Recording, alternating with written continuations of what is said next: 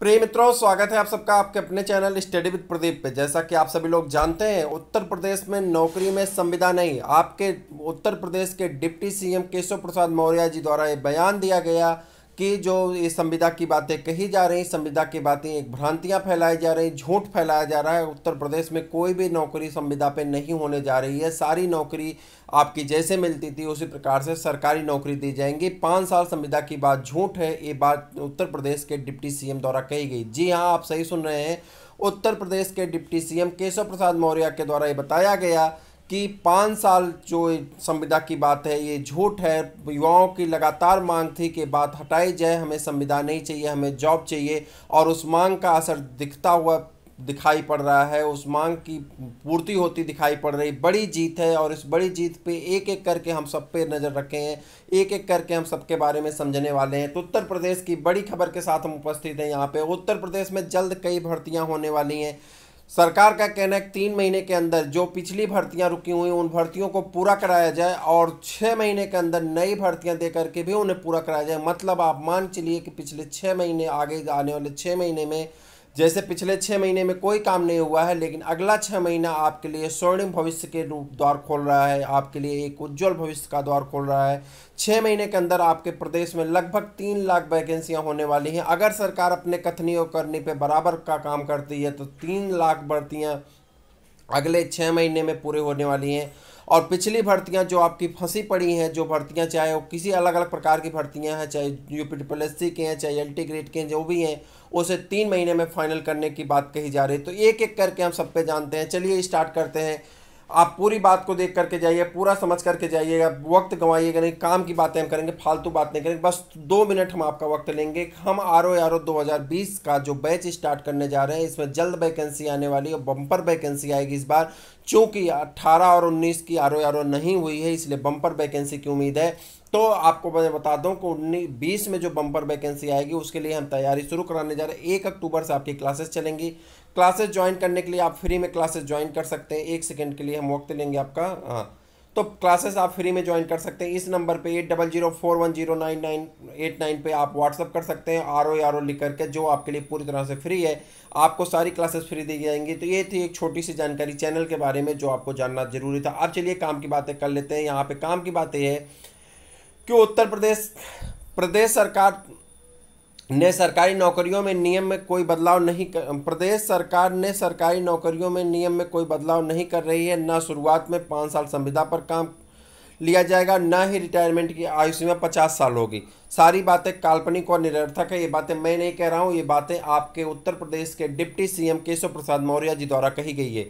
यह कहना है प्रदेश के उप मुख्यमंत्री केशव प्रसाद मौर्य का, सरकारी नौकरियों में चयन के बाद पाँच साल संविदा पर काम लेने को लेकर प्रतियोगी छात्र विरोध कर रहे हैं कि पाँच साल संविधान नहीं चाहिए। इसका हम लोग लगातार ट्विटर पे फेसबुक पे व्हाट्सएप पे, हर एक जगह विरोध हम लोग कर रहे हैं। उसके बाद प्रयागराज आए केशव प्रसाद मौर्य ने बताया कि शुक्रवार को सर्किट हाउस में सरकार की स्थिति की स्पष्ट की और कहा कि मुद्दा विहीन विपक्ष युवाओं को गुमराह कर रहा है। युवा विपक्ष के बहकावे में न आए सरकार भर्तियों में किसी भी प्रकार का बदलाव नहीं करने जा रही है, ना ही कोई बदलाव कर रही है।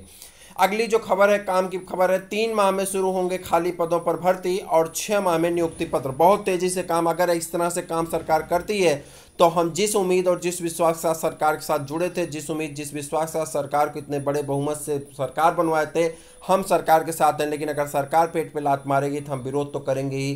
तो अगर सरकार ये काम करती है तो हम सरकार के साथ थे, हैं और रहेंगे, लेकिन सरकार अगर ये काम नहीं करती है तो फिर हम उसी तरह से विरोध करेंगे कि आप जान सकते हैं, देश के सबसे बड़े प्रधानमंत्री, जिसे पूरे युवा यहाँ का सबसे ज़्यादा प्यार करता है, सबसे ज़्यादा विश्वास करता है, यहाँ की जनता सबसे ज़्यादा ट्रस्ट करती उस प्रधानमंत्री को सिर्फ़ चंद युवाओं के माध्यम से, चंद युवाओं जो सिर्फ़ कंपटीशन की तैयारी करने वाले युवा हैं, वो ट्रेंडिंग में, प्रधानमंत्री जी का जन्मदिन ट्रेंडिंग में कहीं ना कहीं बेरोजगारी दिवस के रूप में मना दिया गया और फ़र्स्ट ट्रेंडिंग चली गई। तो कहीं ना कहीं अगर आप हमें छेड़ने का प्रयास करेंगे तो आप भी खतरे में आ सकते हैं, ये बात सरकार को पता है और इसीलिए अफरा तफरी में सरकार ने जो फैसला किया है, युवाओं को हित में रख करके फैसला किया। तो चलिए देखते हैं क्या है इसमें जानकारियाँ।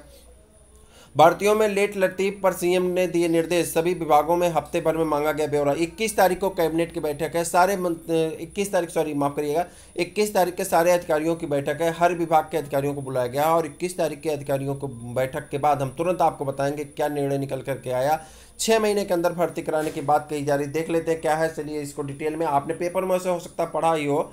तो चलिए हम आपको एक बार बता देते हैं। सरकारी विभागों की भर्तियों में लेट लतीफ पर युवाओं की नाराज़गी को देखते हुए सरकार हरकत में आ गई है। मुख्यमंत्री योगी आदित्यनाथ ने सभी विभागों के रिक्त पदों पर तीन माह में भर्ती प्रक्रिया शुरू कर छह माह में अभ्यर्थियों की नियुक्ति पत्र देने के निर्देश दिए। मुख्यमंत्री ने सभी विभागों में एक सप्ताह के अंदर रिक्त पदों का ब्यौरा मांगा है। अगर सरकार इसी तरह से पहले एक्टिव हुई होती ना, तीन साल से जो लेखपाल की ये लोग ब्यौरा नहीं जुटा पा रहे कामचोर अधिकारी हमारे देश के उत्तर प्रदेश के जो निकम्मे निठल्ले अधिकारी हैं, जो तीन साल से ब्यौरा तक इकट्ठा नहीं कर पा रहे हैं, अगर सरकार इसी तरह हरकत में आई होती और दस को सस्पेंड की होती, एक को सस्पेंड की होती ना तो ब्यौरा आज के तीन साल पहले पहुँच गया होता और आज लड़के लेखपाल बन करके घूम रहे होते। लेकिन सरकार एक्टिव अब हुई है, जब सरकार को लगा कि उसकी सत्ता जा सकती बाईस में, तब सरकार जा करके एक्टिव हुई। कहीं ना कहीं सरकार भी इसमें गुनेगार है, जो अब सरकार, आज जाग रही सरकार को आज के दो साल पहले जागना था। लेकिन चलिए, अपने हक की मांग करते रहिए। अभी भी अपनी लड़ाई जारी रखिए। शांत हो जाएँगे तो सरकार भी शांत हो जाएगी। सरकारी विभाग में भर्तियों को लटके रहने और पाँच वर्ष संविदा पर नियुक्ति के प्रस्ताव के विरोध में बृहस्पतिवार को देश भर में युवाओं ने बेरोजगार, बृहस्पतिवार को प्रदेश भर में बेरोजगार युवाओं ने ज़बरदस्त विरोध प्रदर्शन के बाद शुक्रवार को प्रदेश सरकार भर्ती प्रक्रिया तेज़ी से आगे बढ़ाने के लिए सक्रिय हो गई। सुबह टीम 11 की बैठक में सीएम ने रिक्त पदों पर भर्ती प्रक्रिया शुरू करने का निर्देश दिया। उन्होंने मुख्य सचिव सहित सभी अपर मुख्य सचिवों और प्रमुख सचिवों का एक सप्ताह में रिक्त पदों का ब्यौरा, पूरा विवरण उपलब्ध कराने को कहा साथ ही भर्ती प्रक्रिया में तेज़ी से निर्देश दिए, देते हुए भर्ती प्रक्रिया पारदर्शिता के साथ और निपक्ष ढंग निष्पक्ष ढंग से संचालित करने के निर्देश दिए गए हैं। यू, उत्तर प्रदेश लोक सेवा आयोग का बड़ा फैसला, हिंदी व सामाजिक विज्ञान के तीन हज़ार दो सौ सत्तासी पदों पर एल टी गेट शिक्षक की भर्ती का जारी रिज़ल्ट। ठीक है, पेज नंबर चार पे दिया गया, आप वहाँ पढ़ सकते हैं। ठीक है, आगे बढ़ जाएँ। समय से भर्तियों के लिए खुद सक्रिय हुए मुख्यमंत्री आयोगों और भर्ती बोर्डों के संग इक्कीस को बैठक। योगी राज में तीन लाख भर्तियाँ हुई। छियासी हज़ार प्रक्रियाधीन है, ठीक है? कौन कौन सी प्रक्रियाधीन है? यहाँ पे बताया गया था, हम आपका वक्त नहीं जाया करना चाहते हैं। आप पेपर में पढ़, पढ़े होंगे नहीं तो पी हम लगा देंगे, देख लीजिएगा। और यहाँ पे देखिए, जो बात मैंने वहाँ पे आपको पढ़ के बताई, केशव प्रसाद मौर्य द्वारा कही गई पचास साल रिटायरमेंट और पाँच साल संविदा वाली बात जो झूठ है, वो यहाँ पे है। और कल आपके यूपी प्लस का एक बड़ा रिज़ल्ट आया, कृषि प्रावधिक भर्ती का रिज़ल्ट जारी किया गया है। तो जो लोग इसमें रिज़ल्ट में रहे वो अपना रिज़ल्ट ज़रूर देख लें। मुझे उम्मीद है कि आपकी बात, आज की जो वीडियो है, आपको पसंद आई होगी। अगर पसंद आई तो अपने दोस्तों को शेयर करिए लाइक करिए सब्सक्राइब करिए। कमेंट करके ज़रूर बताइएगा वीडियो कैसी लगी। फिर हम लोग मिलते हैं किसी और वीडियो में। तब तक के लिए इजाज़त दीजिए। जय हिंद।